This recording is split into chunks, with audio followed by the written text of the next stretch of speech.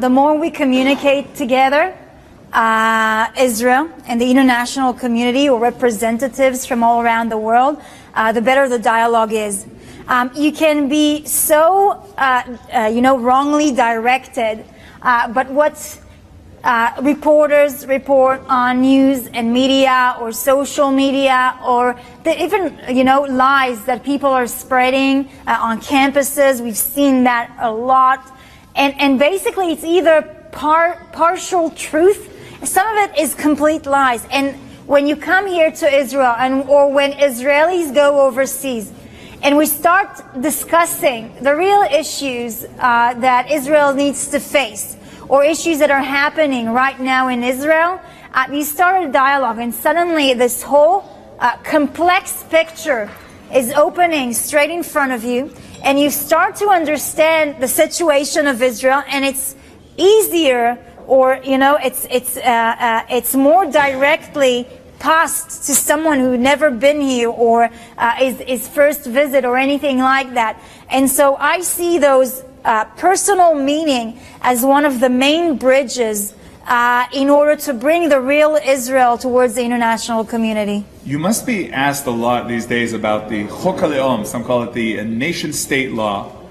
And people could tell you, listen, you're a Jewish state, you have the law of return, why does Israel need a, a, another law, legislation, controversy, some would say, to define that Israel is the Jewish state? Okay, so again, um, people can be fed from a lot of what's being told in the media. But let's speak about the facts, okay? Um, Israel in its first years, David Ben Gurion uh, wanted to create a constitution. Israel doesn't have a constitution today. But that's what the founding fathers wanted Israel to have. Because a constitution is something important. It's something that uh, uh, uh, um, uh, prescribe or, uh, you know, fulfill all of the needs of your people, of your civilian. It uh, uh, inscribe all of your rights as a human being or as a citizen of Israel. One of the major issues uh, for David Ben Gurion in not a, be, that is not able to write a constitution in the first years was mainly because of the religious ultra-Orthodox who really wanted the constitution to be a very religious constitution because they believe that the only constitution needs to be a constitution that comes from God. And so in that perspective, they didn't allow to have any kind of constitution being written to Israel. And so David Ben Gurion has said, okay, we'll have a committee and we'll start working on a future constitution by slowly adding uh, the basic uh, foundation legislation. So we have quite a few foundation legislations. One of them that we never were able to decide about is a segment that speaks about the cultural aspect of the state of Israel. For 14 years, 14 years, different legislation and discussions about the character of the state of Israel have been debated in the Israeli parliament. Different version of this legislation.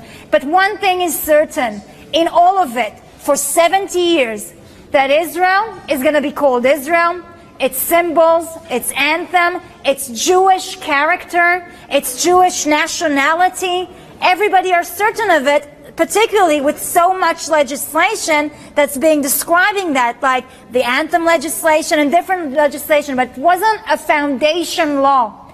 And so this is such a celebration this week because finally, after 70 years, after 14 years of debating and bringing different legislations, after a year and a half of discussions in the committee about the national bill, which is uh, part of our future constitution, we were able to form and gather something that we agree on. More so, if David Ben Gurion and all of the founding fathers of Israel would have seen this segment, they would have signed it today, even yesterday. Why? Because a lot of the religious aspect is not there. The national bill describes our uh, uh, national rights, our historical rights, our cultural rights. And it speaks very uh, minorly about the religious aspect of that. And this is a dream come true of David Ben Gurion. I believe that in the future, when the next generation is going to look back on what happened here today, after we've passed such an important legislation that describe our character, the opposition is going to be looked at extremely negatively. Extremely negatively. Now we have important friends here, Anthony Scaramucci, Mike Huckabee, and all our all this very important delegation, and they're all be going they're going back. And we hope and we believe, and I also know that they'll be great emissaries. What is the most important message these days that you hope, that you wish, that you ask that they, you know, that they take away? And you know, there there are a lot on the media. What is the most important message these days? Wow. um, I would probably say there, there, there's one message. Um, after thousands of years, the Jewish people returned to their homeland. They are native people to this land. Uh, after so much persecution, we were able to build here a safe haven for Jews, not just Israelis, but from all around the world. Um, the basic right of describing the character of our country is a basic right that every country have.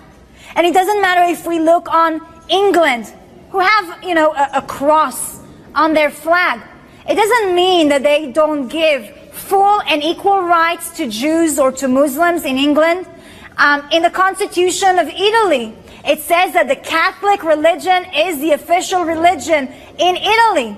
But it doesn't mean that it's a, it is a discriminative country. In different anthems and flags and symbol, there are so many religious symbols because they are part of the culture. Now, in Israel, our flag, a beautiful flag, yes, it's got a Jewish character, a beautiful historic a story that stands behind it, including our symbols, our anthem. This is a basic right of every people to be able to describe their character. And this legislation that we've passed is doing exactly that. And I think that the message is to bring that out. Everybody who are talking about a racist bill have no idea what's written inside this bill. It comes from ignorance. And it comes from a hypocrisy as well. Because every other country that did the exact same thing, and even further than that, was not called in these names. Knesset. Knesset member Sharen Haskel, thank you very much for joining us. Thanks a lot. It's